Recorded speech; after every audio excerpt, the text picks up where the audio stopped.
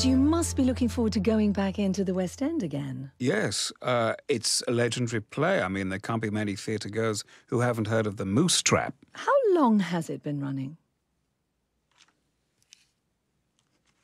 60 years and uh, still attracting huge audiences. That is such a long time. What do you think is the secret to its success? Well, it's a good old fashioned murder mystery, really. Right. It's well plotted.